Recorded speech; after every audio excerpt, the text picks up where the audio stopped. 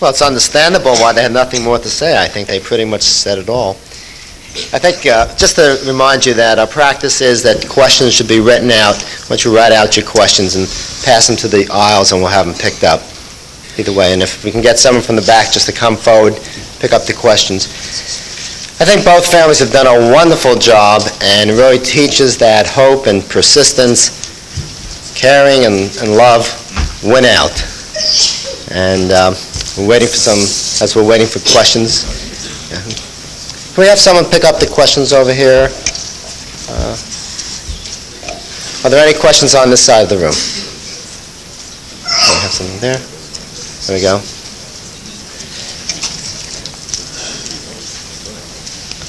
There we go. Okay, we have, uh, thank you, Olivia. Okay. Corey, okay, let's see. We have a, okay. Question for Corey, were you a walkaway? Oh, actually, we have microphone.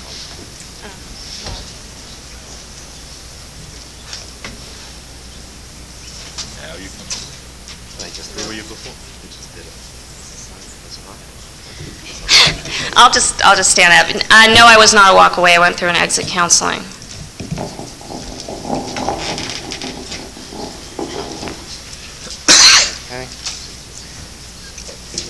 To the Grosswalds, are you getting harassed by Scientology, and if so, uh, how are you dealing with it? What do you got? Not yet. We have a policy that every harassment results in 10 free talks by the Grosswalds on Scientology.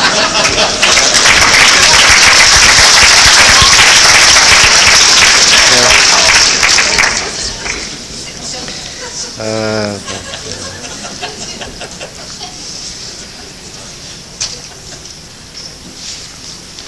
Great. The question, the next question has to do about older people such as a dentist uh, or other professionals who become involved in Scientology. Do you have any ideas of uh, how they might get out? I suppose it means how you might get them out. Um, I'm not an exit counselor, I'm a parent. I do sell dental supplies. And I've seen dentists go into this group. It's unbelievable. Uh, The family has to do the same thing. Just, just rally around, get as much support as you can, try to keep a line of communications open, and uh, just keep trying. In each case, you know, it's just like with us, each case is different. I wouldn't recommend our method for everybody. We had a special situation. We caught it early. We had a very bonding family right from the beginning. And it worked. I don't know that would work with everybody. I think you have to look at each situation, but dentists do come out. I also must tell you, there are dentists who go in and love it, and truly love it, because they were s- scams before they got in, and now Scientology taught them how to cheat the public even more. So, that's a big problem. Actually, Corey's going to answer this next question because it's sort of complicated, but why don't you just read the question and then you can go through it. Okay, um, it says, why did you, like my family, have to change your phone number and get an unlisted number? My cult tried desperately to contact me via phone calls, letters, visits, etc., cetera, et cetera. Um, And I had a lawyer send a registered letter to three members of the cult to stop contact with me due to pending litigation. Um, I changed my phone number and got an unlisted phone number, um, not really having anything to do with Church Universal and Triumphant, but actually having to do with uh, Church of Scientology, getting harassing calls from them. Um, And, you know, frankly, now having a- an unlisted phone number, I wish that I had had an unlisted phone number all my life, because it makes things a lot easier. I don't get a lot of sales calls. Um, And I I don't know uh, really how the, mean, in terms of um, the cult trying to contact a person, um, I, you know, I really basically ignore all of that kind of stuff. If people try to contact me in the cult, I don't really want to have anything to do with them, and I don't have anything to say to them, and I basically tell them that.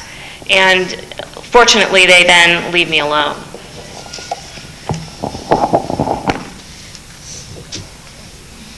Uh, This question points out that both families are fortunate enough to have uh, understanding and cooperation from everyone, mother, father, siblings.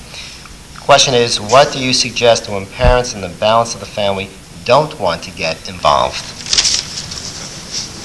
Anyone, anyone suggest Well, I don't- know why I took the microphone, because I don't really know the answer to that, but I'm just gonna say, we- we- we've had a similar problem like that, you know, on Long Island. This uh, family called us, it's not Scientology related, but it's, it's a different cult.